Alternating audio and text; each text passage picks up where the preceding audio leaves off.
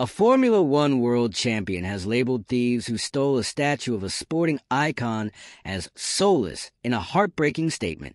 The statue depicting former Ferrari driver Gilles Villeneuve was stolen from its pedestal outside the museum bearing his name in Berthierville, Quebec, this week.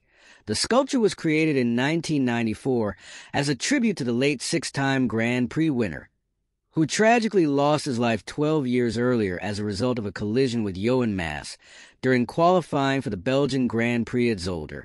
Despite being just 32 at the time of his death, Villeneuve's legacy lived on, with a bronze statue reflecting his impact in the world of motorsport as well as his local community.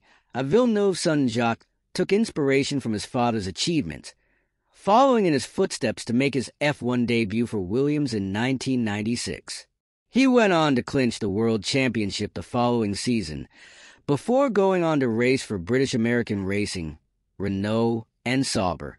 The 53 year old is now a respected pundit and is frequently spotted in and around the paddock, offering his views on the current state of play within the sport. And following the shock revelation that his father's sculpture had been taken, Villeneuve took to his Instagram page to hit out at the culprits in an emotional post. My dad's bronze monument was stolen at the museum, he said. Those shameless, soulless beings do not deserve to be called humans.